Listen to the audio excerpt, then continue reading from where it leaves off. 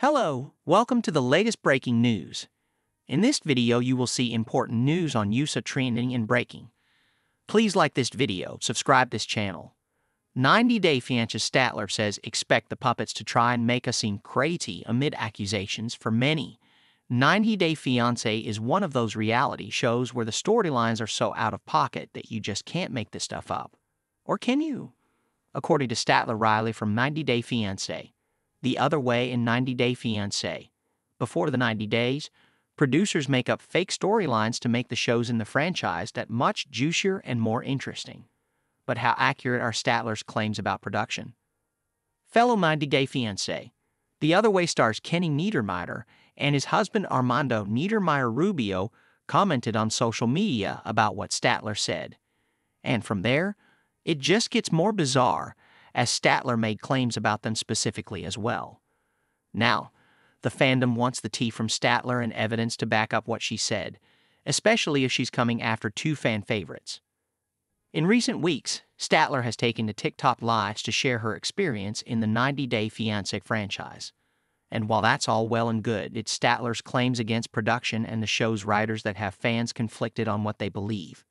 According to Statler, when a couple is cast on a 90 Day Fiancé show, they sit down with a writer and go over the details of their relationship and even their insecurities.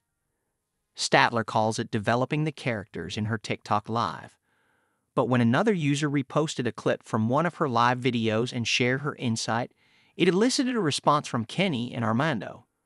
According to the TikTok user who shared the clip, producers for reality TV don't actually write a script, but they do write down how the storylines work for each couple based on what happens between the couples. After the user shared this video and her input, Kenny and Armando commented from their shared account. Everything you stated was spot on, and it seems Statler might have had some choice word about Kenny and Armando specifically. In another post, this time on Statler's Instagram, she shared that this was never about Armando, despite claims that she named his storyline as part of her narrative about 90 Day Fiancé producers. She then shared on Instagram and screenshots that have now made their way onto TikTok. Expect the poppers to try and make us seem crazy or even double down. But we are standing strong.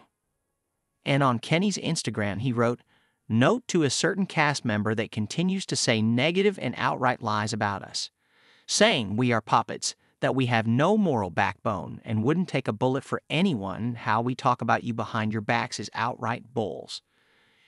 She knows zero about us, never met us, nothing, nada. She's just plain irresponsible to say things about people that she knows nothing about, knows no one in our lives.